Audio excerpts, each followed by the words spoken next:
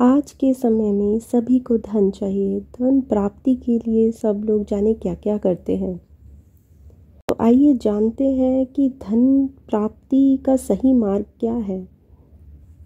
एक कहानी मैं आप लोगों से शेयर करना चाहूँगी।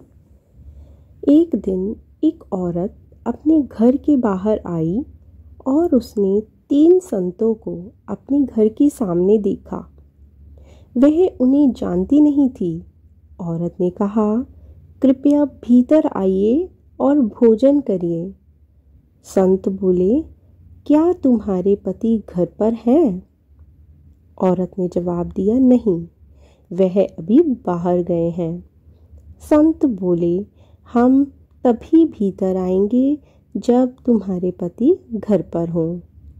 शाम को उस औरत के पति घर आए और औरत ने उन्हें सब बात बताई। औरत के पति ने कहा, जाओ और उनसे कहो कि मैं घर आ गया हूँ और उनको स आदर बुलाओ। औरत बाहर गई और उनको भीतर आने के लिए कहा। संत बोले, हम सब किसी भी घर में एक साथ नहीं जाते। औरत ने पूछा, पर क्यों? उनमें से एक संत ने कहा, मेरा नाम धन है। फिर दूसरे संत की ओर इशारा करके कहा, इन दोनों के नाम सफलता और प्रेम है।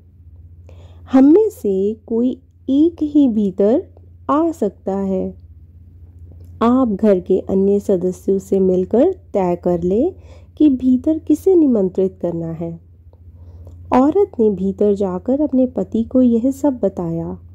उसका पति बहुत प्रसन्न हो गया और बोला, यदि ऐसा है तो हमें धन को आमंत्रित करना चाहिए। हमारा घर खुशियों से भर जाएगा। लेकिन उसकी पत्नी ने कहा, मुझे लगता है कि हमें सफलता को आमंत्रित करना चाहिए। तभी उनकी बेटी दूसरे कमरे से ये सब सुन रही थी। वह उनके पास आई और बोली मुझे लगता है कि हमें प्रेम को आमंत्रित करना चाहिए। प्रेम से बढ़कर कुछ भी नहीं है। माता पिता ने कहा, तुम ठीक कहती हो, हमें प्रेम को ही बुलाना चाहिए।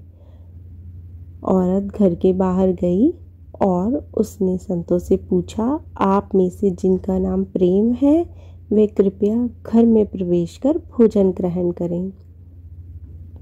प्रेम घर की ओर बढ़ चले। बाकी दो संत भी उनके पीछे चलने लगे। औरत ने आश्चर्य से उन दोनों से पूछा, मैंने तो सिर्फ़ प्रेम को आमंत्रित किया था। आप लोग भीतर क्यों जा रहे हैं?